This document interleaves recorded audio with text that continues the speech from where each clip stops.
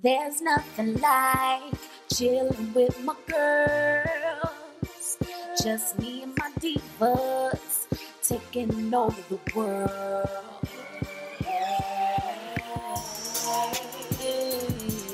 Divas. Hey, divas.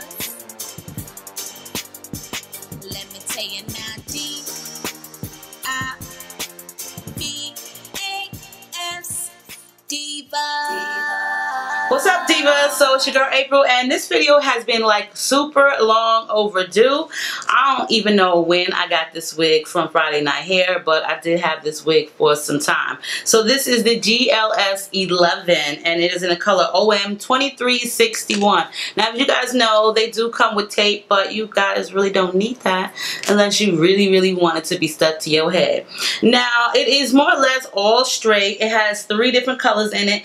Um, as you can see right here. I don't know if I'm too crazy about the lightest blonde in the back. So we about to see how I feel about that. Their wigs don't have um, parts, but that's okay because you can do it on your own. You can make one on your own. You could tweeze a part in it if you want to. It's basically up to you. But I do like Friday Night Hair's wigs because they do last really um, like a nice amount of time, especially if you know how to take care of them. They do give you a nice amount of parting space. They do have stiff, hard plastic lace, but you know what? we all been dealing with that for like ever so it ain't really no new news shocker okay? I'm not gonna do a part in it because i just want to do like that flip over method. You know when the girl flip it over she thinks she cute. We about to do that.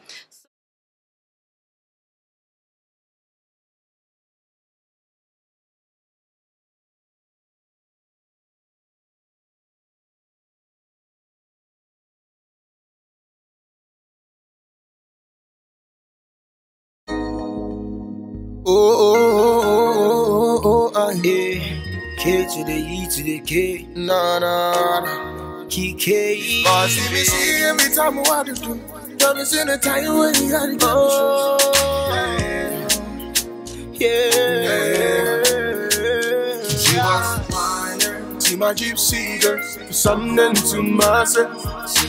She is really cute. Um, like I said, I wasn't too thrilled with this color right here because it's just really, really light. But it's not as noticeable as you would think. She's a decent length. I would say she's like 20 inches, 20, yeah, like 20 inches because it's a wig.